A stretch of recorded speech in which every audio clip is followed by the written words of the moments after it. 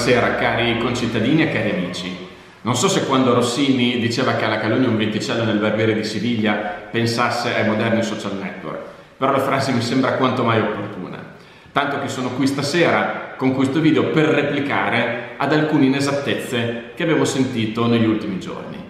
In particolare è stato detto che il comune di Minervio non potrebbe opporsi alla proposta di sovrappressione di Stogit perché avrebbe paura di restituire dei soldi che ha ricevuto, e non è così, e cosa ancora più assurda che nell'incarico, nel progetto, nello studio di livello europeo che abbiamo conferito a INGV, cioè l'Istituto Nazionale di Geofisica e Vulcanologia, un'eccellenza nella ricerca scientifica, il comune di Minervio sarebbe in conflitto di interessi con questa. Se avete qualche attimo di pazienza e mi state ad ascoltare, adesso proverò a spiegarvi perché si tratta di due assurdità. Partiamo provando a chiarire il primo punto. Allora, cosa succede? Qualche anno fa la nostra amministrazione comunale, preoccupata dai, dai primi, eh, dalle prime evidenze scientifiche su una possibile correlazione tra l'attività di stoccaggio gas nel sottosuolo e la microsismicità locale, ha interessato la regione Emilia-Romagna affinché fosse svolta a Minervio, sul nostro sito specifico, un apposito studio per verificare se ci fosse o meno questa relazione. La regione Emilia-Romagna, insieme al um, Ministero, nell'ambito di un più generale progetto di linee guida per monitorare questo tipo di fenomeni, ha scelto proprio Minervio, vista la nostra disponibilità e il nostro interessamento, per condurre uno studio scientifico di rilievo più che nazionale, addirittura europeo, su questa materia. Chiaramente svolgere uno studio del genere ha un costo e anche importante. Abbiamo ritenuto che fosse secondo i normali canoni delle politiche ambientalistiche, mettere questo costo a carico di chi realizzava l'attività potenzialmente critica per il nostro territorio, quindi a carico di Stogit, e che fossimo noi, noi pubbliche amministrazioni, a scegliere chi dovesse svolgere eh, lo studio. Un po' come se uno vincesse una borsa di studio e poi decide liberamente quale università andare a frequentare. Io non riesco a vedere in questo nessun conflitto di interesse, anzi, l'esatto contrario. Le pubbliche amministrazioni, per come le intendiamo noi, sono le prime garanti dei cittadini, perché sono espressioni dei cittadini stessi. Quindi, insieme a Regione e Ministero, fra i vari soggetti che si potevano scegliere, abbiamo individuato un'eccellenza italiana nello studio scientifico del sottosuolo, cioè INGV, l'Istituto Nazionale di Geofisica e Vulcanologia. Quindi i costi di questo studio li abbiamo messi a carico di Stogit, ma Stogit non paga direttamente chi svolge la ricerca, quindi NGV, versa questo denaro al comune di Minervio. Ci pensa poi il comune di Minervio che si è reso disponibile da questo punto di vista ad essere il soggetto committente, per conto anche del Ministero e della Regione, nei confronti di INGV stessa. Non solo, i risultati di questo studio sono monitorati da un apposito comitato scientifico nel quale ci sono rappresentanti dei vari enti che abbiamo detto prima, fra cui abbiamo insistito ci fosse un rappresentante anche del comune di Minerio. I risultati sono stati trimestralmente pubblicati sul sito internet di Minervio perché fossero assolutamente trasparenti nella disponibilità massima. Li trovate ancora oggi pubblicati sul nostro sito e sono assolutamente consultabili. Credo che questa non solo non sia una pratica negativa, il contrario, sia una pratica virtuosa. Bisognerebbe tutte le volte che c'è un'attività nel nostro paese potenzialmente negativa, avere la pubblica amministrazione che riceve da chi esercita questa attività le risorse economiche per poi poter svolgere con il miglior partner scientifico disponibile questo tipo di studi. Bene, proviamo adesso a chiarire il secondo punto, le famose compensazioni ambientali. Allora, cosa è accaduto? Nel novembre 2012 il Consiglio Comunale di Minervio, dopo un lungo percorso che ha visto la consultazione di decine e decine di nostri cittadini, in una seduta pubblica davanti ad un centinaio di persone presenti, ha approvato due convenzioni, una con Snam Gas ed una con Stogit, entrambe aventi ad oggetto la disciplina delle compensazioni ambientali, che secondo noi il nostro territorio merita dato che noi ospitiamo questi impianti tecnologici di rango nazionale autorizzati dai ministeri che sono quantomeno ingombranti, crediamo che sia giusto che il nostro territorio riceva una compensazione da utilizzarsi esclusivamente, come abbiamo fatto, per politiche ambientali. Quindi una potenziale criticità per l'ambiente viene compensata da politiche virtuose per l'ambiente. Bene, ma vediamo quali sono i contenuti esatti di questa convenzione che abbiamo stipulato con Stogit. Questa prevede che a fronte di un progetto di potenziamento della centrale che prevede tutta una serie di interventi, fra cui anche, ma non solo, l'eventuale esercizio in sovrappressione, sia riconosciuto al nostro comune per finanziare politiche ambientali la somma di 2.200.000 euro, che mi sembra un bel risultato per il nostro territorio. Come spesso è prassi in accordi di questo tipo, il pagamento è articolato in diverse voci, a seconda di quello che si va a compensare. La prima voce, al, del 30%, pari a 660.000 euro, aveva la finalità di andare a recuperare il pregresso, quindi andare a recuperare quello che è stato fatto nel nostro territorio in passato, che mai era stato compensato. E questa era legata alla mero eh, rilascio, eh, alla mera stipula della stessa convenzione di cui parliamo. La seconda voce, la seconda tranche di pagamento, volevo dire pari al 20% per 440.000 euro, invece era legata all'ottenimento di tutte le autorizzazioni per le sostituzioni delle turbine TC3, TC4 e TC7, cioè le macchine che spingono, eh, che aumentano la pressione del metano per, per eh, spingerlo nel sottosuolo. Bene, apro una piccola parentesi. La sostituzione di queste macchine è uno dei risultati ambientali più importanti che siamo riusciti ad ottenere.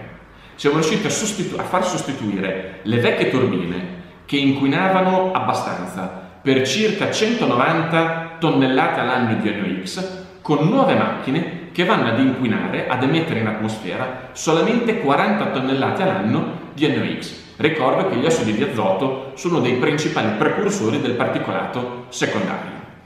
Terza tranche di pagamento, pari nuovamente al 20%, quindi 440.000 euro, era legato all'autorizzazione dello scavo di un nuovo pozzo nel quale dovesse essere collocata proprio della strumentazione per un miglior monitoraggio.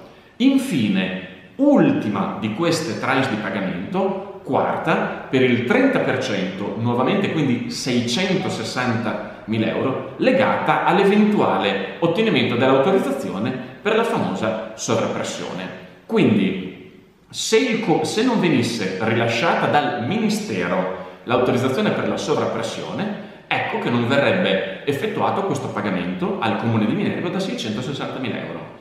Ma vorrei sottolineare che è assolutamente corretto questo, perché non stiamo parlando di accordi commerciali, stiamo parlando di compensazioni ambientali.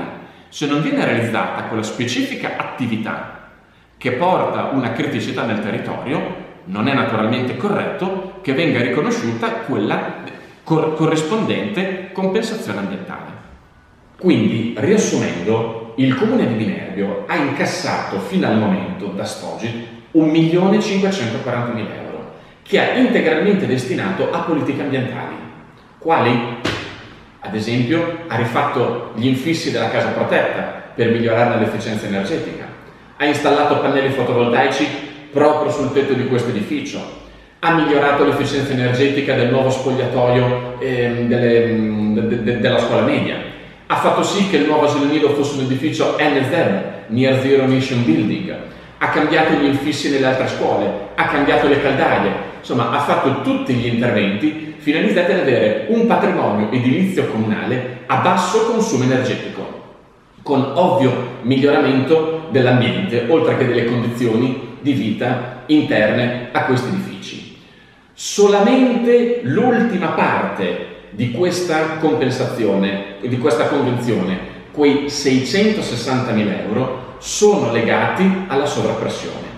Le altre cifre di cui vi ho parlato fino adesso, quel 1.540.000 euro, non deve, qualora non venisse autorizzata la sovrappressione, non deve essere restituito. Quindi è completamente restituito di fondamento ogni interpretazione che porti a dire che il comune di Minerio, per timore di dover restituire qualcosa, possa o non possa assumere una certa posizione in merito alla sovrappressione.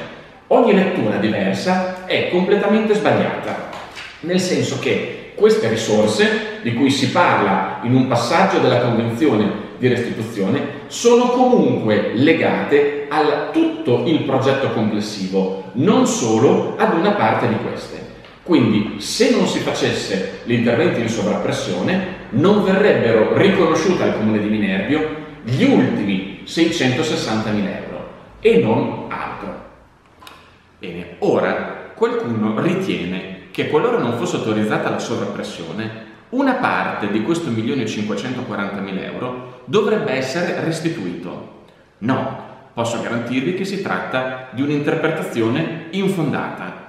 Venendo al merito della convenzione, per spiegarlo, l'articolo 4,2 ci dice che nel caso in cui i procedimenti autorizzativi ministeriali di quella premessa D abbiano un esito finale negativo, il comune restituirà a Stogit la somma di cui al punto A Bene, se però abbiamo la pazienza di andare a leggere cosa prevede il punto D, vediamo che non si parla solamente di sovrappressione, ma si parla di tutta un'altra serie di voci che sono già state, fra l'altro, autorizzate. E più in generale, la stessa premessa D richiama la premessa C che parla di un progetto composto da varie voci, di cui la sovrappressione è solamente una delle cinque. Quindi mi rendo conto del tecnicismo, ma non è assolutamente sostenibile che il comune di Minerbio sia condizionato nella sua azione dal fatto che venga o non venga autorizzata la sovrappressione per paura di dover restituire alcuni denari. Questa interpretazione posso garantirvi che è del tutto scorretta. Vero è tutt'altra cosa, e cioè l'ultima tranche di pagamento quella sì legata alla sovrappressione, pari al 30% dei 2 milioni e 2 e quindi di 660 mila euro, è stata divisa in due parti. Perché? Perché qualche mese fa abbiamo chiesto l'anticipo una, eh, de, del 50% di questa cifra solo per motivi tecnici di bilancio di copertura di finanziamenti, in particolare della rotonda che deve sorgere, che sta sorgendo, che sta ormai per essere finita, all'incrocio fra via Marconi e via Montalcini. Bene, a parte che questa rotonda serve per realizzare la nuova circonvallazione, quindi per spostare dal centro del paese i mezzi pesanti e quindi permettere a tutti quanti noi di respirare un'aria decisamente migliore. Però vi dicevo, solo questi 330.000 euro dovrebbero essere restituiti in caso di mancata autorizzazione della sovrappressione. Quindi questo non può condizionare in alcun modo la nostra amministrazione comunale, che ha fatto investimenti per 26 milioni di euro negli ultimi 10 anni e che ha un avanzo di amministrazione di oltre 6 milioni di euro. Cioè stiamo parlando di una cifra che è poco più del 2% di quelli che sono stati i nostri investimenti negli ultimi anni. Quindi assolutamente ai limiti del ai limiti del trascurabile. Ma non solo, dato che noi sappiamo fare bene i contratti, abbiamo convenuto che l'eventuale restituzione di questa somma, perché ci eravamo fin da subito tenuti la porta aperta per l'eventuale mancata autorizzazione della sovrappressione, vi dicevo, questa restituzione si da effettuare in 10 anni e a tasso di interesse zero. Ora, non trovereste interessante che qualcuno vi presti dei soldi per poterli restituire in dieci anni e senza tasso di interesse? Io credo che abbiamo ancora una volta fatto un, ottima, eh, un ottimo contratto a vantaggio della nostra amministrazione comunale. Cari amici e concittadini, vorrei che questo video possa aver dato una mano a chiarire come stiano davvero le cose. Grazie perché ha avuto la pazienza di arrivare fino in fondo e di ascoltare tutti questi passaggi tecnici. Però come al solito, per gettare la calunnia sugli altri ci vuole poco, per spiegare come stiano davvero le cose ci vuole molto più impegno. Se avete avuto la pazienza di arrivare fino in fondo, credo abbiate avuto tutti gli elementi per farvi davvero un'idea non solo su come sia andata questa vicenda, ma soprattutto quale attenzione abbia messo questa amministrazione comunale sulle tematiche ambientali e quale scrupolo dedichi sempre nella redazione dei suoi atti. Io vi ringrazio per la pazienza che avete avuto e naturalmente auguro a tutti quanti una buona serata.